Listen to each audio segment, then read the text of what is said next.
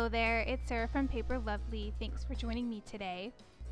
So I decided I wanted to decorate some treat bags and I'm going to use a lot of the embellishments that I created and if you didn't check out my videos that I posted yesterday you can see how all of those were made there. There I'm showing you my plate full of all those goodies. I'm also pulling out some ephemera, I've got some doilies and then you saw me earlier there cutting out some circles. I believe that was either a three or three and a half inch circle from my Sizzix die set. I'm going to use that for some toppers uh, on the top of the bags. Here I've grabbed, this is from one of the older Pebble collections. I think this one was called Trick or Treat. And I'm just going to trim those out just to get myself a lot of things ready and sort of sitting that I can pull from to work to put together the decorations on my bags.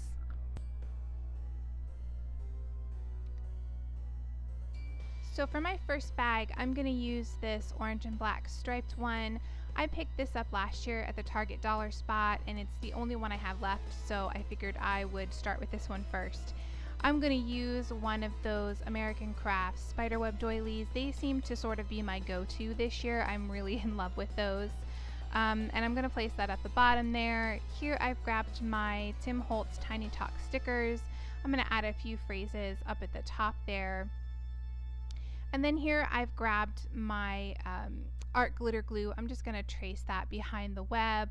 I'm going over pretty much everything because I'm going to take this, place it down, and then I will wrap that around the side and the bottom of the bag. So you see that in just a second here.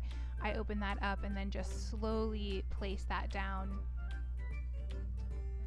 and then the since this is a circle it will the edges will meet at the corner so you'll see I just um, press those together and then trim that off with my scissors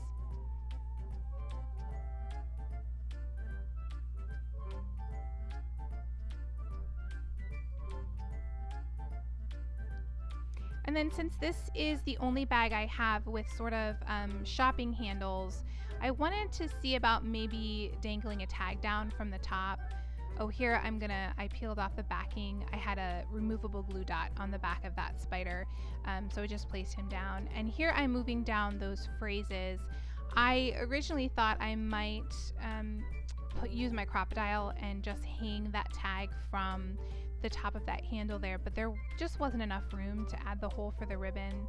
So what I ended up doing here was just tying the ribbon around the one side of that handle and then I did look over in my uh, goodies that I had created the other day and I had this flag so I'm gonna just feed that paper clip onto one edge of the ribbon and then tie that back down.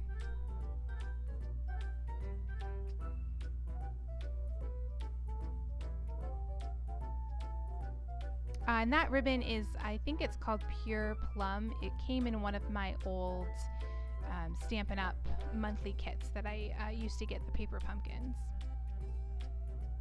Again, grabbing one of those spider doilies, I just love them, and using one of those circles that I cut out. There, I was showing you the size, I think it was three and a half inches.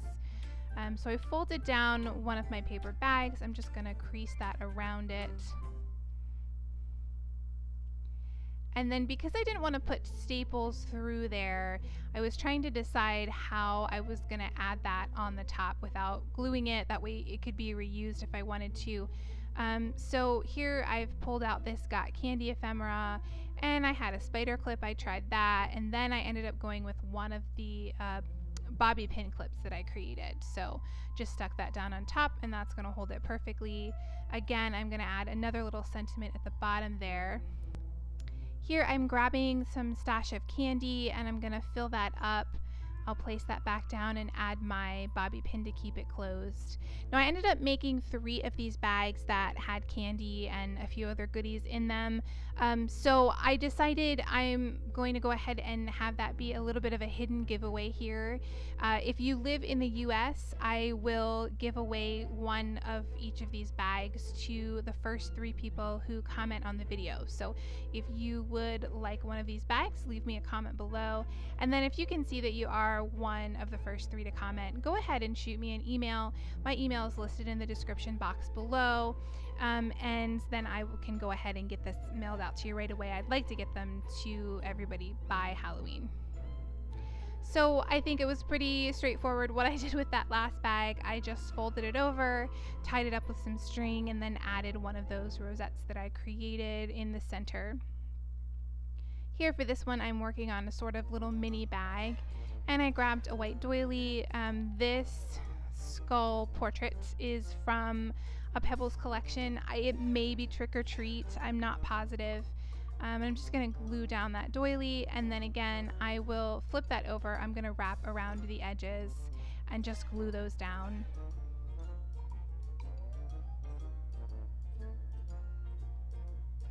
And then I'll place that portrait on top. I wanted to give that guy a little bit of dimension. So um, uh, just fixing a few of the edges there. Next, I thought I might want to add a bow, and then I decided against that once I had it down. So I put that on, and then I take it back off again. And then I grabbed my Nuvo glitter pen and added a little bit of glitter over that skull.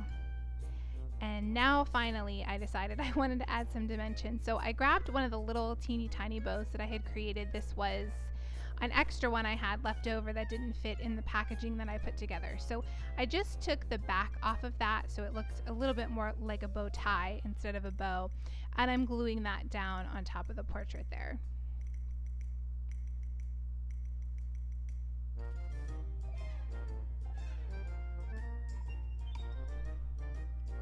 I'm going to do another one of these uh, fold over tops for this next bag. Again, taking that spider web and adding it onto one of the circles that I created. I'll go ahead and fold that over. And then I'm going to use one of the little rosette paper clips that I put together, or um, bobby pins that I had put together. I grabbed that trick or treat banner and then I wanted to have that stand out just a little bit more. So I grabbed some of my glitter paper. This is a really pretty light purple color. Added some score tape to the back of that.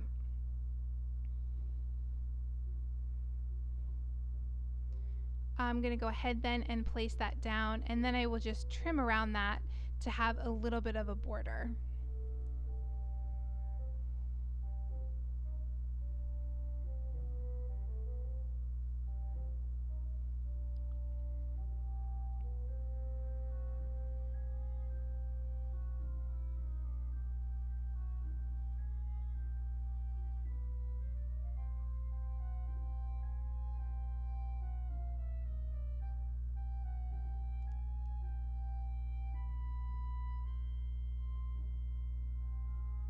Once again, I'm going to grab one of those small talk stickers.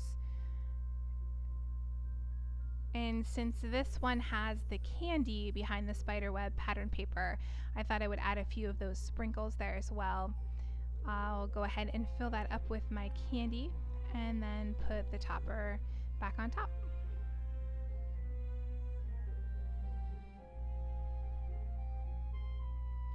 Here's another one of those smaller bags. I played around with this one for a little while.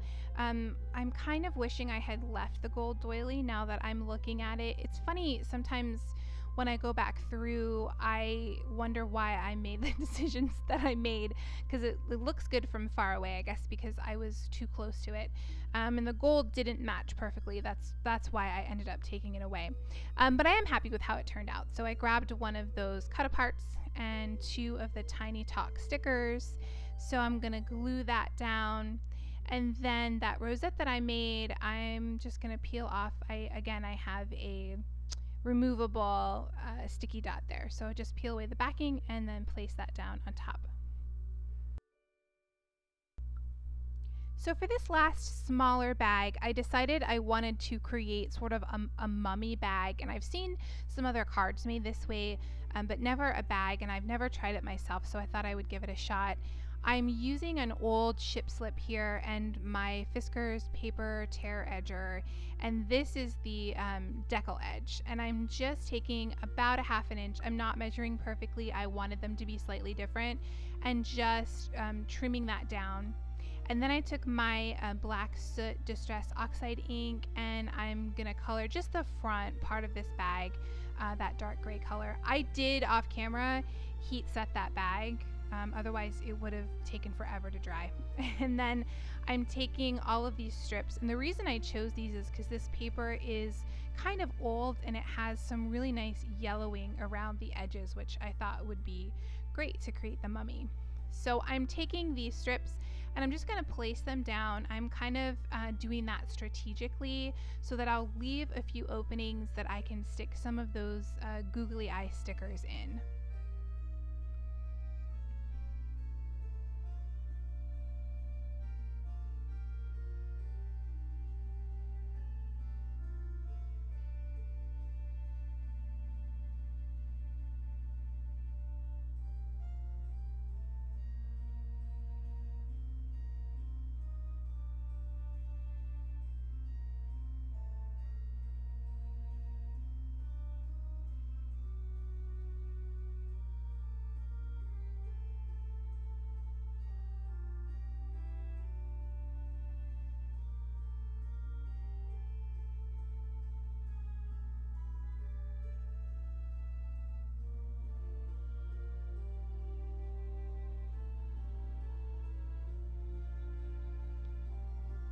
And then once I had all those placed down, I did go ahead and uh, take the edges, just roll those over to the back of the bag. Those little smaller pieces that didn't have any tape left, I'll just stick down with a little bit of my liquid glue. And I purposely left that rough edge along the bottom, just peeking out a little bit. And then I'll take uh, these monster eyeballs and just have those peeking out from the dark behind the bandages.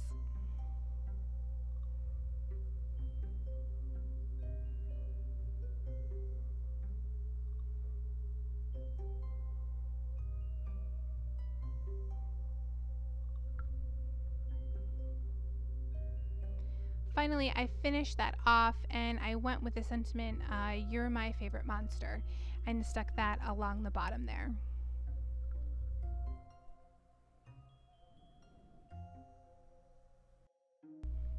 Here are a few close-ups of the finished goodie bags. In the description box below, you'll find my blog post, which has additional photos and links to the supplies that I used. If you enjoyed the video, please leave me a comment or a thumbs up and subscribe for more.